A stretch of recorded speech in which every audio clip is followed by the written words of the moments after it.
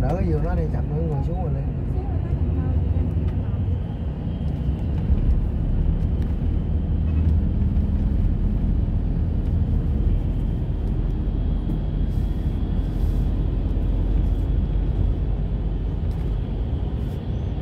Ủa, cái giường này người đi đâu rồi ta?